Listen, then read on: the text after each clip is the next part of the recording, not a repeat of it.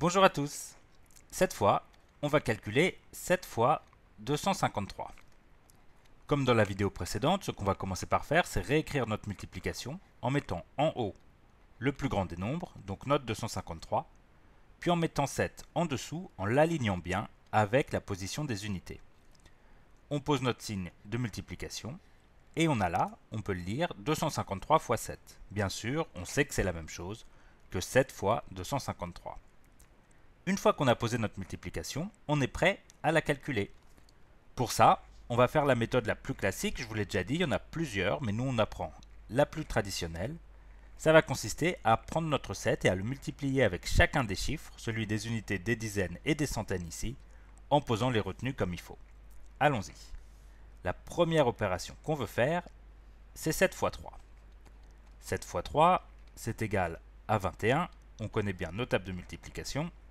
Je prends les 1 des unités que je pose, je pose 1 et je retiens le 2 des dizaines, c'est-à-dire que je l'écris ici au-dessus du 5. Ensuite, je vous l'ai dit, on va multiplier le 7 avec le 5. On multiplie le 7 avec le 5 des dizaines.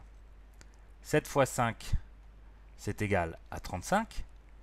Mais on ne va pas s'intéresser juste à 35 parce qu'on a notre 2 en retenue ici. On a deux dizaines qu'il ne faut pas oublier. En fait, il faut les additionner. On va additionner ces deux dizaines au résultat de notre multiplication, c'est-à-dire à 35. 35 plus 2, ça va nous donner 37.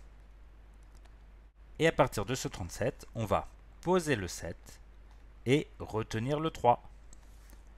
Enfin, la dernière étape nous demande de multiplier notre 7, cette fois avec le 2, des centaines.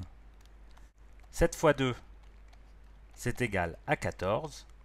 Mais encore une fois, j'insiste, on n'oublie pas d'additionner notre retenue. 14 plus 3, ça me donne 17, et c'est donc le 17 que je vais écrire en bas. Finalement, on a réussi à trouver le résultat de notre calcul. 253 fois 7, c'est égal à 1771. Voilà pour ce calcul. Merci de votre attention. Au revoir.